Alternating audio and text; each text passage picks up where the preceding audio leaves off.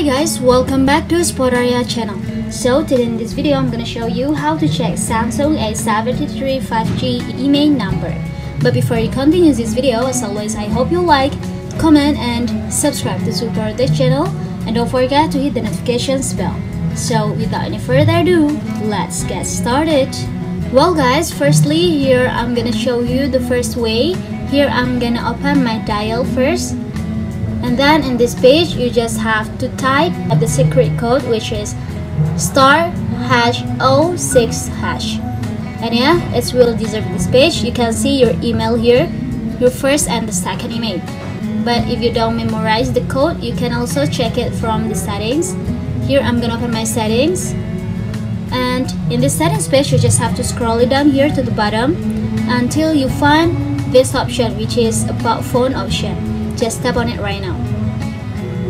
And yeah as you can see here you can also check your IMEI your first IMEI your second IMEI. Also here you can see the serial number the mobile number and here your phone number. You can compare it with the box of the phone. So yeah just it. I think it's enough guys. Thanks for watching this video. I hope this video will help you. Don't forget to leave your comment in the column below. I'll see you soon in the next one and good luck